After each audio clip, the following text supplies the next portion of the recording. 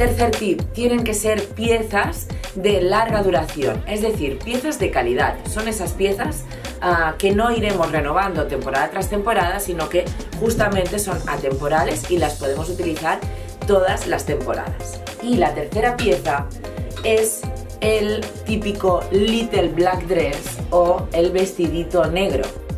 El vestido negro tiene infinidad de posibilidades. Primero lo vemos combinado con un look muy sport. Unos calcetines de deporte, unas bambas e incluso un chaleco puesto por encima. En el segundo caso vemos el mismo vestido, pero con una imagen más festiva. Aquí hemos puesto unas medias fantasía, unos tacones y también los complementos, muy importante, un collar y unos pendientes a juego.